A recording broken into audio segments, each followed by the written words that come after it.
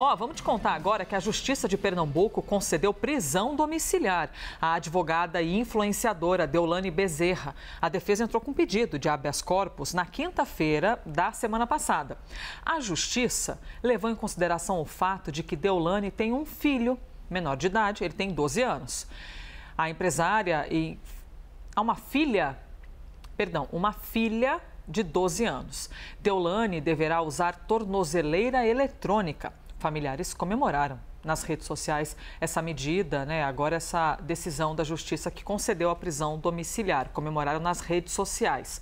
A mãe de Deolane, a Solange Bezerra, permanece presa. Ela foi presa no mesmo dia que a filha. As duas são investigadas em uma operação da Polícia Civil de Pernambuco que mira crimes de lavagem de dinheiro e prática de jogos ilegais.